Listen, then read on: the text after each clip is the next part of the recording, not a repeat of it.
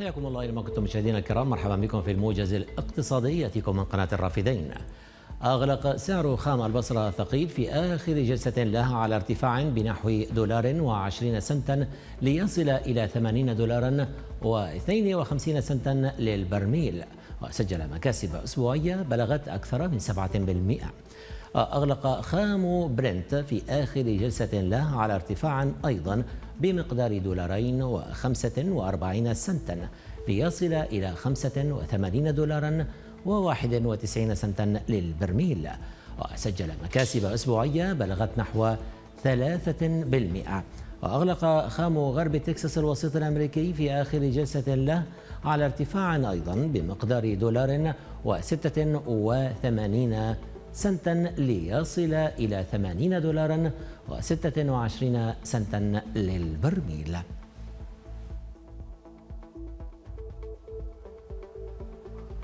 شهدت أسواق ديالا رواجا كبيرا للمحاصيل الزراعية المستوردة من كردستان العراق بسبب تناقص وقلة المحاصيل المحلية في فصل الشتاء.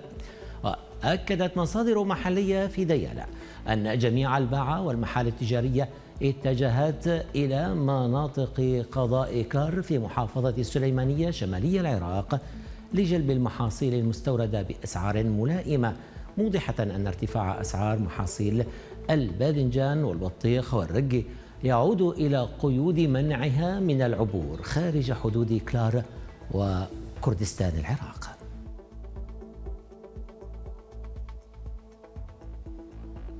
أعلنت هيئة الإحصاء التركية أن العراق جاء ثالثا كأكبر مستورد من تركيا في شهر تشرين الثاني الماضي.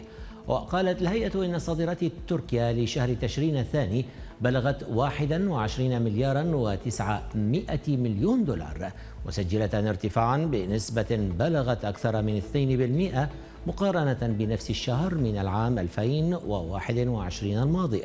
مشيرة إلى أن العراق جاء ثالثا في استيراد الصادرات التركية بين دول العالم خلال شهر تشرين الثاني الماضي بقيمة مليار وثلاثمائة ومليوني دولار.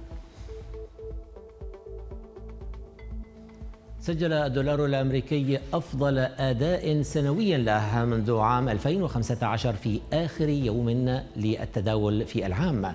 وسجل الدولار مكاسب سنوية بنحو 8% مقابل سلة من العملات وهي أكبر قفزة سنوية له منذ سبع سنوات.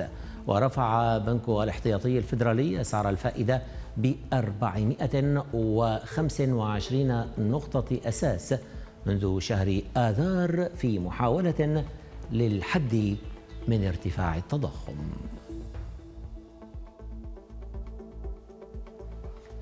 توقع استطلاع أجرته وكالة رويترز تداول برميل النفط بسعر دون 100 دولار خلال عام 2023 وتوقع استطلاع شمل 30 من الاقتصاديين والمحللين أن يبلغ متوسط سعر خام برنت 89 دولارا و37 سنتا في عام 2023 ومن المتوقع أن يصل متوسط سعر الخام الأمريكي إلى 84 دولارا و84 سنتا في عام 2023 مقابل نحو 87 دولارا في العام السابق. والآن هذه انتقالة سريعة مشاهدينا الكرام لأسعار صرف العملات الأجنبية وأسعار المعادن.